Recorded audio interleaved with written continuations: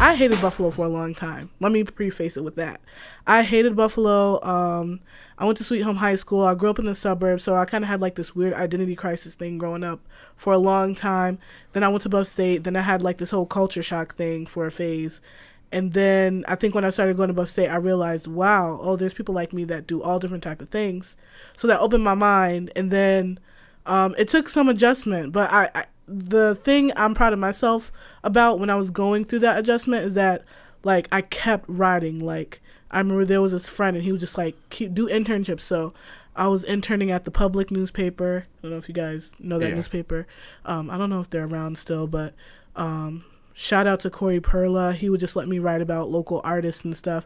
And it just started to, I didn't even, now looking back, it's like I was primed to kind of like do this a little bit because the things I were doing were always revolved around entertainment, music, and culture.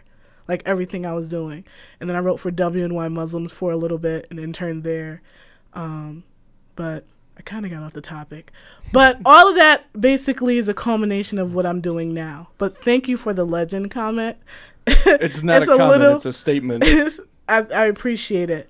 Um, I definitely feel like so many great things are happening, and I'm excited to see where I'm gonna go. But I'm I'm really focused on really um, developing myself more. Like I see what I'm doing, and I see that's great.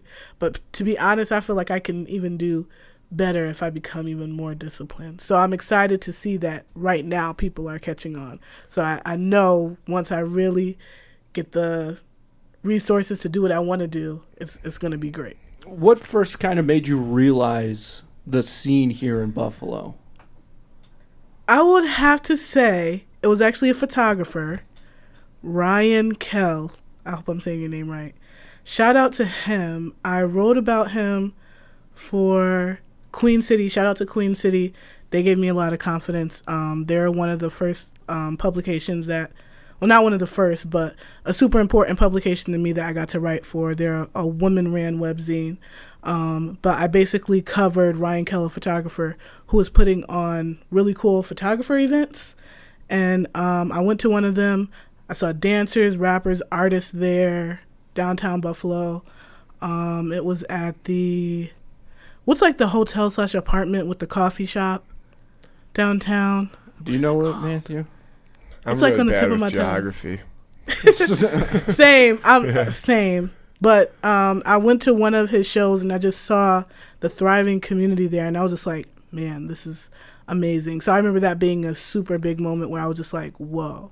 And it just it just happened gradually. I really can't remember that that one moment, but I would say Ryan Kell's event. I think he moved to New York City now. He's doing big things, but he was putting on like photography events for like uh, every other month for like a year or two, and that really like ignited my flame for like looking out for Buffalo rappers and musicians and stuff. It's just it's a sense of community, you know what I mean? Knowing that someone that's super talented and it gives you a push. It lets you know that these amazing people come from where you are. So don't be ashamed of where you're from. And that was my thing is that I was so ashamed to be from and you have to understand too to kind of give a backstory.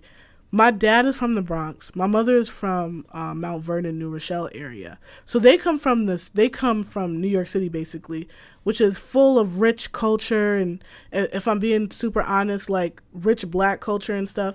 So growing up in the suburbs, and me and I see my dad scratching, and and my dad is like, he's super integral to the um, hip hop community in in um, New York because he he came up when like Afrika Bambaataa was relevant. Like he saw Grandmaster Flash scratch.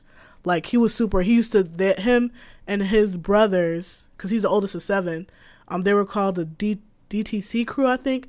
They would go in different boroughs, and my dad would be scratching. So he literally is part of like hip hop, that that birth of hip hop. And so coming him telling me stories and stuff and being so excited and then, you know, I'm in Amherst or West Seneca, it's like, okay, two different worlds. So when I looked at New York City, I looked at it as like Atlantis, like it was this amazing world. Um, so yeah, but again, growing up and then going to college and seeing all these talented people um, different backgrounds, different cultures, different races, all coming together and working together. That got me excited. And then knowing that they were doing amazing things outside of Buffalo, but they're from Buffalo, you know they were nurtured by Buffalo just gave me a sense of pride. And I, and I think that's what I, at the end of the day I think that's the main thing I'm trying to do at Buffalo Cold.